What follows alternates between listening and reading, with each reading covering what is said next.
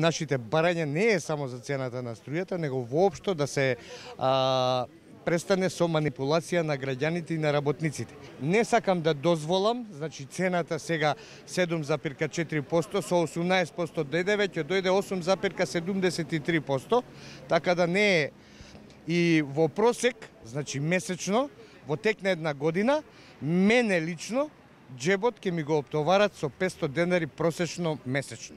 Доколку не ви ги исполнат барањата, кои се вашите следни чекори? Па е, сега не би сакал да да радикализираме.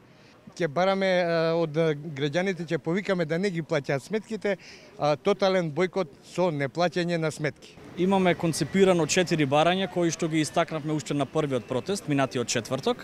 Значи, тргање на оваа одлука, бесрамна одлука за зголемување на цената, затоа што не се одвесува со животниот стандард, оттаму бараме и намалување на веќе постоечката цена, оваа цена.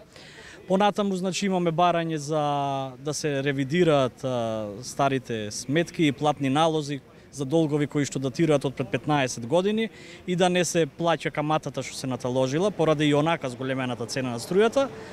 И конечно, доколку нема слуг за овие барања, тогаш предлагаме и владата да го раскине договорот со а, а, приватната корпорација Евана и производството на електричната струја, дистрибуцијата, поточно да се врати под државна капа. Очекуваме овие протести да бидат помасовни, со масовност прво да изразиме револт и да испорачаме барања, на тамошни чекори ќе зависат од тоа дали граѓаните ќе го препознаат овој протест и дали ќе ни се придржат.